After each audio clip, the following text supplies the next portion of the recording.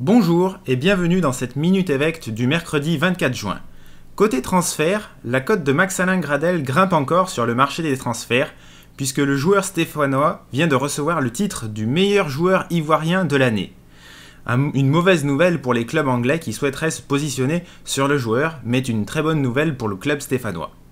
Côté transfert, toujours, suite à un entretien avec Dominique Rocheteau et RMC, celui-ci nous avoue qu'un latéral gauche venant remplacer Franck Tabanou devrait débarquer dans les prochains jours dans le forêt. Une bonne nouvelle pour la formation de Christophe Galtier. Côté transfert, toujours, Nolan Roux serait tout près de l'AS Saint-Etienne.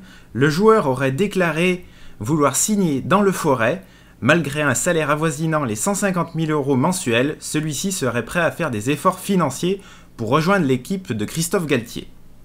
Pour terminer, toujours côté transfert, le club Bastia, euh, le SC Bastia, aurait sur sa shortlist un certain François Clair, défenseur droit euh, de l'AS Saint-Etienne. Plus d'informations dans les jours à venir.